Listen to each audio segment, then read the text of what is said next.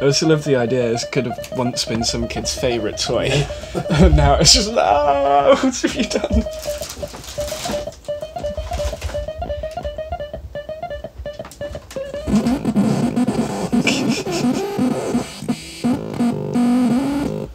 just dynamite.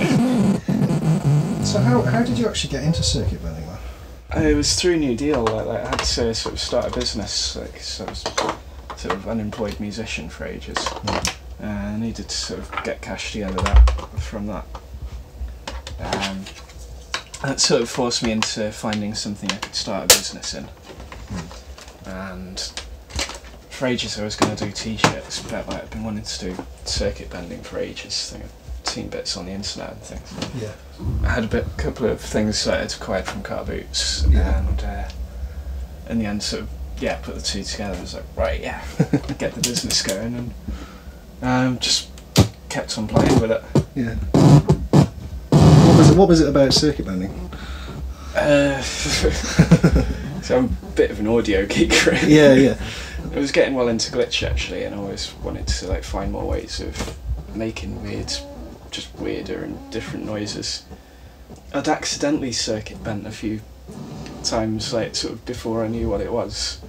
Um, once I left a Furby in a freezer, or in a fridge actually, and accident. it was only meant to be a few few minutes, but I forgot about it. And when it came out, the batteries were all cold, and it was doing like kind of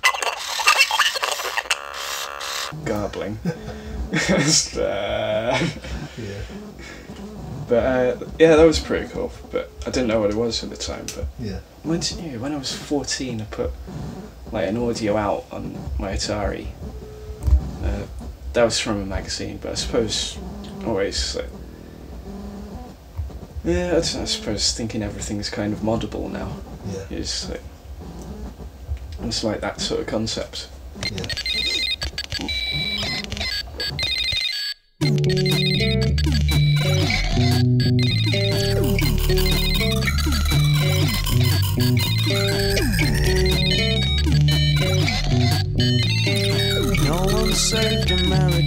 Sniffing cocaine. Jiggling your knees, dank eyed in the rain. Snows in your nose, you catch cold in your brain. And all your feelings fall off. All your feelings fall off.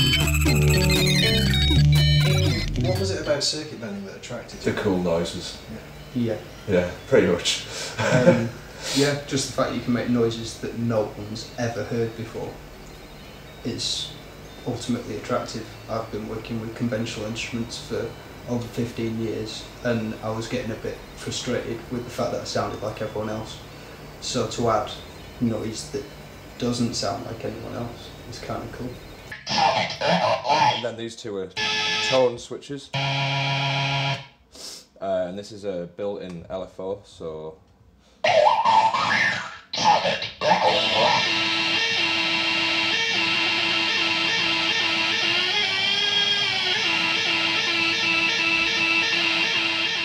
And I think the beauty of circuit bending is that you, need, you don't need to know anything about electronics, but it comes through the more things you bend, the more knowledge you gain as to how things work. But I think you have to look into it a little bit as well. I mean, that's pretty much what search engines are for. You can look up different types of chips and different components and then read more about it, and then the electronics knowledge just comes from that.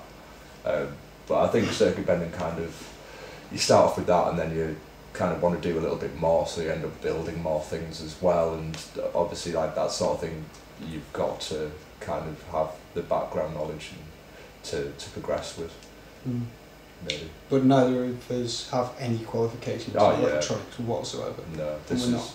I mean, I, I, I haven't soldered anything on like since since I was at school in my first year, Mm. soldering like little blinky LEDs and shit. So this is like this is like worlds apart. I feel like I've progressed a lot. I had a job for um, for a while repairing laptops and games consoles, but that was a product of circuit bending rather than the other way around. Um, in that I had the solving skills and solved it all day anyway. Um, and it's something that if you don't do it all the time, you kind of skills fall off. so uh, Your skills don't fall off. skills fall off. Can't so, fall uh, off. They fall out, if anything. yeah, your skills fall out. with your feet. so um, yeah, I had a job doing that for a while. I wasn't very good at it, and there's a lot of people walking around with quite dangerous laptops. at the moment. but that kind of pleases me that I might. Explode someone. I was going to say I might be sat in a coffee shop and someone might explode, but that's never uh, No, going to no, happen. No, that's No. that's almost verging on terrorism. I ain't that guy.